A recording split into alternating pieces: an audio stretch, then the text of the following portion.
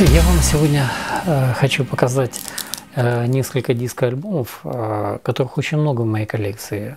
Я люблю стиль диска, и в моей коллекции ну, где-то около, возможно, 400 альбомов, э, записанных в стиле диска. Вот этот альбом Ригейра, это название итало-диска дуэта, э, он содержит весьма-весьма известный э, хит, который в 1984 году звучал, наверное, из каждой закусочной и на каждой танцеплощадке. «Вама Салаплая». Э, интересно то, что данный хит исполнен, э, исполнен на испанском языке, а дуэт итало, итальянский. Э, этот дуэт основали э, Стефано Риги и Стефано Арота – два итальянца из Турина в 1981 году.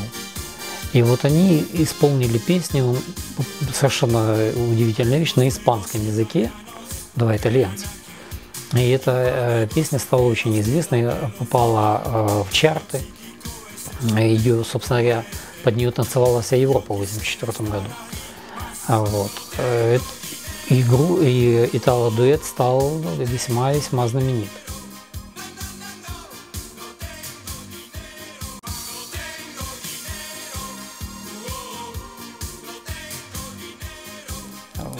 Альбом интересный, мне он лично очень нравится. И вот слушать его под хорошее настроение, да, ну просто замечательно.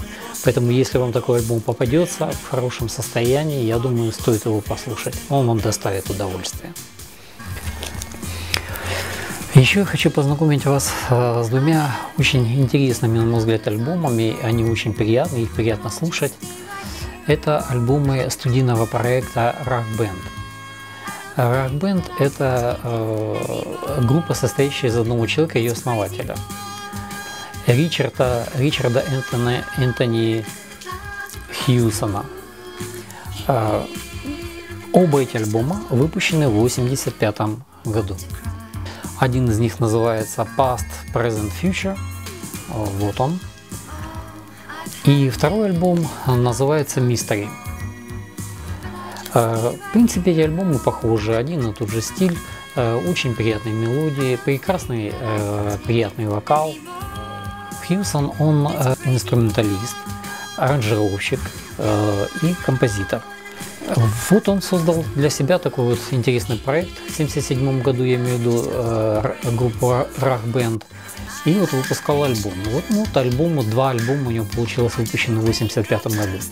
А с вокалом э, ему помогала его супруга Лиз. Надо сказать, что ребята явно решили, что не стоит упускать деньги из семьи, и все, что делаем, делаем своими руками. Мне эти оба альбома нравятся. Ничего не могу сказать, сделаны профессионально, отлично, приятны для прослушивания.